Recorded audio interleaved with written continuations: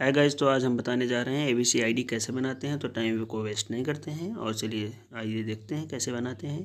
तो सबसे पहले हम प्ले स्टोर खोलेंगे। इसमें डालेंगे डिजी लॉकर डिजी लॉकर खुल गया। डिजी लॉकर हमारे में लॉगिन है ओपन करेंगे इसको। इंस्टॉल कर लिया था पहले से। और मैंने लॉगिन भी कर लिया था। आप लोग लॉगिन करेंगे।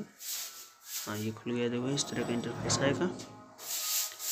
पहले मोबाइल नंबर से लॉगिन होगा, फिर आधार वेरिफिकेशन होगा, उसके बाद लॉगिन कर लेंगे।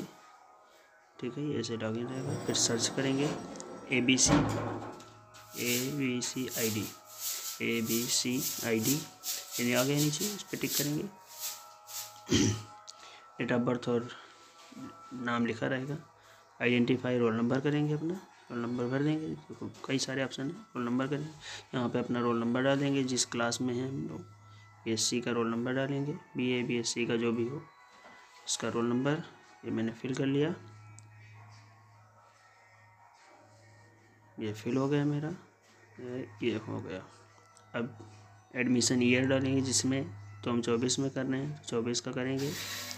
चौबीस करने के बाद यहाँ पे अपनी यूनिवर्सिटी डालेंगे। जो भी यूनिवर्सिटी हो आपकी, वो डालिएगा। मेरी रज्जू भैया है। रज्जू भैया डालेंगे। रज्जू भैया इलाहाबाद। रज्जू भैया सर्च करेंगे आगे ऊपर, इस पर टिक करें और गेट डॉक्यूमेंट्स कर देंगे। थोड़ा सा टाइम लेगा। तब तक आप चैनल को सब्सक्राइब कर लीजिए और बेल आइकन दबा दीजिए। हाँ ये देखिए फिचिंग हुआ लाइक और शेयर कर दीजिए। अपने दोस्तों के साथ उनको भी जानकारी मिल जाए। ये कंप्लीट हो गया हमारा। अब इस पर टिक करेंगे। ये देखिए, खुल गया।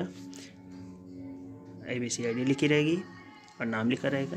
बैग जाएँगे। हाँ इस पर थ्री डॉट पर टिक करेंगे व्यू पीडीएफ कर देंगे। तो डाउनलोड भी कर सकते हैं, इसको डाउनलोड करेंगे, ये फ़ाइल मैनेजर में आपके पहुँच गया। इसको आप यहाँ भी देख सकते हैं और वहाँ भी देख सकते हैं। जानकारी अच्छी लगे तो अपने दोस्तों के साथ शेयर करें ताकि वो भी जान सकें।